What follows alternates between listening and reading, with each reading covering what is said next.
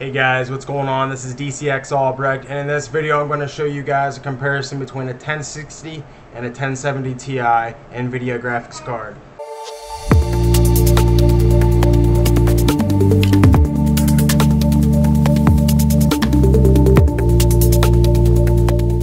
The two coins I'm going to be showing you is uh, Raven Coin and Digibyte. Uh, the reason I'm choosing Raven Coin is because I feel that it's a hot coin right now on the markets. Um, even though it's not on a lot of exchanges, it's the algorithm behind it which makes it awesome. This is my son here. Say hi. Hi. So I went on Newegg and I purchased two of these EVGA SuperClock GeForce 1060 graphics cards. Uh, they're the six gigabyte model. I recommend getting the six gigabyte model because if you get the three gigabyte model and you want to mine Ethereum, you're going to have nothing but issues. So always get the six gig model. It's worth it in the long run. So once I set up both cards, got them in the rig and everything, fired them up. Um, probably my issue that I had was Windows did not want to load nicely. And I don't know if it was because I had, you know, 10 graphics cards, um, 8 1070 Ti's, and then two 1060s.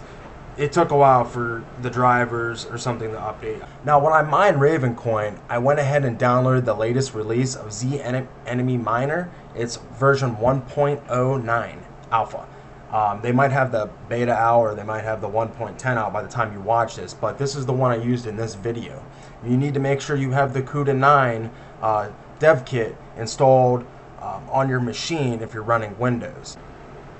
So once I got MSI Afterburner fired up, set my fan speeds at like 70%, I started hashing away.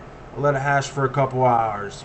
Um, the results were mm, not too bad. The 1060s didn't do as bad as what I thought they would, but they got between 7 to 8 mega hash uh, compared to the 1070 Ti's, which get 11 upwards to 13 or 14 mega hash. If you check out here on the chart on ravenminer.com, um, you can see I was getting between 110 and 115 mega hash, and then when I installed the 1060s, um, it bumped it up to 120 to 130 mega hash. Um, and this is a 24 hour chart. Mining Digibyte went about the same. We had about half the performance of a 1070 Ti. Both were stock. Uh, where the 1070 Ti got about an average of 600 mega hash, the 1060 trailed along and got between 330 to 340 mega hash. Both cards were stock except for an 80% power limit and 70% fans and afterburner, which the fans don't matter. Now for Digibyte, I used the Alexis 78 miner. Um, I believe it uses CUDA 7, so as long as you have just your normal NVIDIA drivers, this miner will work. And it's supposed to be the fastest miner for NVIDIA cards for Digibyte. I expected less and was surprised that the 1060 was at 55% of its big brother. One thing about the 1060 compared to the 1070 is it is a lot less power draw, but I don't think it's as efficient as the TI. The 1070 Ti is just hands down the most efficient card right now. Um, if you get the 1080 or the 1080 Ti, you're going to be paying for that extra power, but you're also going to be getting better performance. Um, this card's not bad. I mean, if you are seriously on a budget, budget, budget build and you want to get like six of these, I mean, you're going to save close to $700, $800 um, by getting these versus a 1070 Ti. And if you want to mine, you got to start somewhere.